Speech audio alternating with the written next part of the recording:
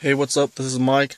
I wanted to do a review on the new in-dash that I recently purchased. It's a Pioneer Z140 and I wanted to give you guys a personal review, not a professional review or, you know, a biased review. I wanted to give you a real person review on how I think this product is. So, let's turn it on and see. I'll tell you a couple things I like about the unit and a couple things I didn't like about the unit.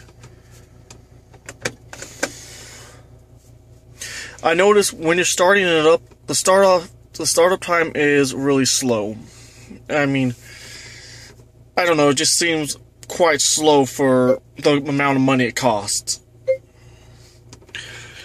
The screen is really, you know, bright in the at night, but in the daytime it can get a bit dim. I and there is no brightness settings. You get one choice of brightness. It's the same level all the time. Okay. So the really cool thing is it has a pretty good navigation in it. I mean, it's decent.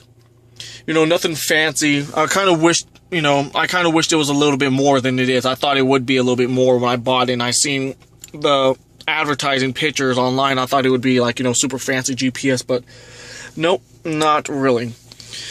Um, the thing that I would say is really going for this unit, the reason why I bought it over anything else was for the sound quality.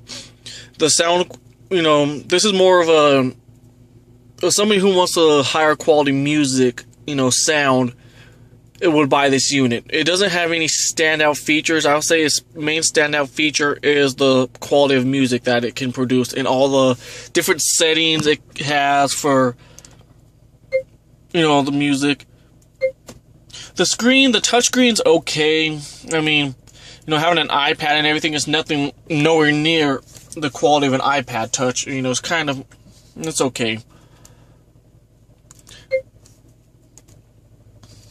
A lot of repetitive screens. I I'm really getting annoyed with that. There's lots of screens you have to okay and this and that, you know. But there's basically every option you could imagine to adjust your sound. From the fade and balance, pretty good. I like that. The EQ, you know, it's okay. I mean, there's a lot of ways to customize it. It can sound really sweet when you play with it. I don't like any of the natural presets or the presets that came with it, it just doesn't. To me, none of them sound good. I, you know, you have to go custom and you know play with it however you like it. I like the you could you know you could turn the loudness in different variations. The subwoofer, I really like this menu. I, I know I can turn it off completely. Um, you know, normal and reverse. I have that negative 24 right now because sometimes, you know, too much bass um, to be, you know, annoying at times. I mean, I really do like bass. I have subwoofers, obviously, but you know, sometimes I, when I'm driving home from work, I like to, it just to be mellow. So I'm glad that you could really tune the bass. I mean, really down and really up. So that's really cool. I like the way you can set the frequency on here. You know, you can go all the way down to 50 hertz, which is pretty low. Um, I, I it right about 63 hertz. I thought that was really good for the bass. And then I set my high pass filter at 125 hertz. That makes it sound really good. And you could turn up the level, the amp level and stuff, What's I like. Bass boost. Mm, it's, you know, it's not, I don't really know about that. It's not the greatest. I don't really care for it. And then you could set up, you know, how you're listening to your speakers in here. The, you know, it's hard to say. I have a really kind of a mixed review. I like it because I bought it, but then I kind of question the amount of money it cost. Because, I mean, I'm really thinking for the amount of money, there has to be better things out there. Because I've seen these advertised for $1,500 at, at Car Toys. I paid 700 for this one. And it's quite a bit of money. I mean, it doesn't do, you know, it's not super fancy as I thought it would be. I mean, honestly, for the price, I thought there could be better. out there for that that amount of money. Um, they recently came out with uh, Pioneer came out with the new one, a multimedia one, and the screen is super clear. And I mean, I kind of envy it because this one kind of just looks, you know, at times it kind of just looks old. Um, this is a video here.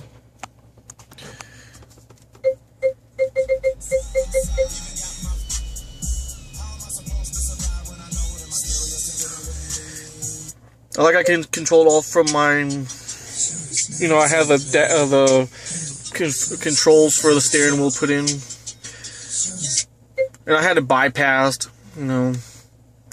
And this has a the really cool thing about this is it has a memory card you can insert in here. That's how I'm playing these songs through a memory card. I liked that feature. Um.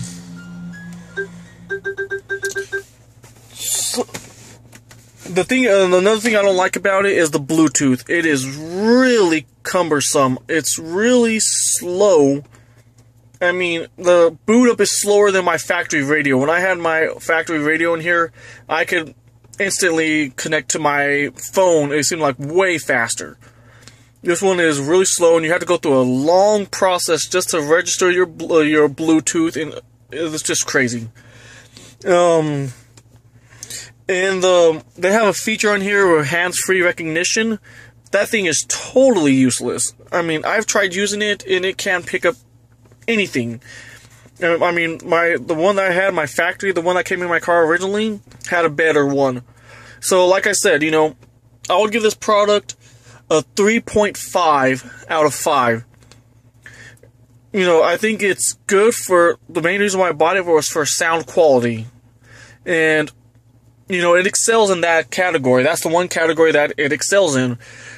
Um, but, you know, I still think it's lacking. I mean, for the price, it's just kind of lacking.